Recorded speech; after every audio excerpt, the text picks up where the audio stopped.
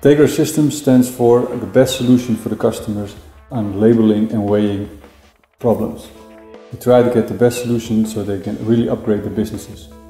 We started with the uh, Gebroeders Hoff almost like 10 years ago with the first machine. It was a single line. They started to, grow the broccoli and the package with our machine. And then last year they came to us with the question they want to upgrade the machine and get a, a double line machine, get more, more output of the, of the machine.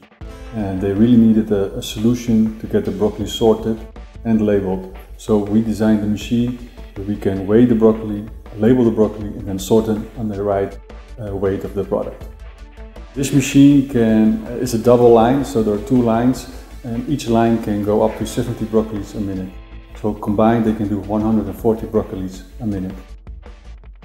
The challenge for the customer was that they really want a machine that was steady and that the, the operators are no need to rush to get the machine working. So the machine really needs to take the, the work of the, of the operators. So it should be uh, steady, uh, no faults, uh, correct weighing and also very fast. So the accuracy must be very good.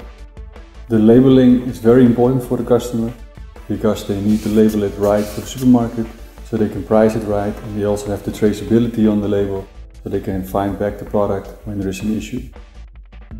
Tegra Systems uses CAB systems because we really can integrate the systems in our machines. They're quite handy to work with, uh, great for programming and they are really low in maintenance. And the accuracy of the print and apply systems are very high, so that's exactly what we need in our products.